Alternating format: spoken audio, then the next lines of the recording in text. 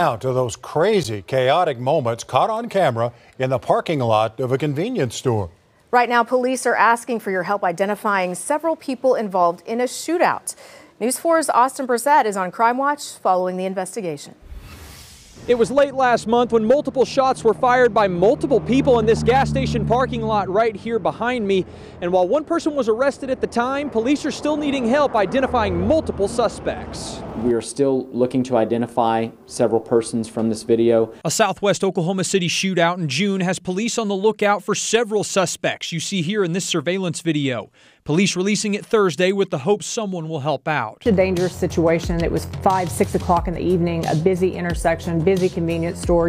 Officers say it started when this group walked through this gas station parking lot and into the store near Southwest 44th and Blackwelder.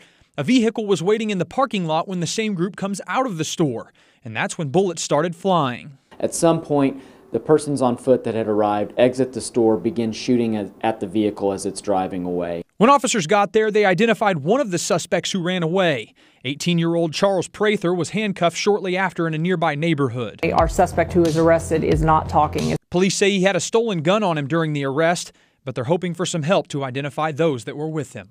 There's three others that were that were there with that first shooter. Another there's a second shooter in the video that you can see. Austin Brissett, Oklahoma's News 4. Fortunately, no one was hit by any bullets and no injuries were reported. Police are offering a reward of up to $1,000 to anyone with information.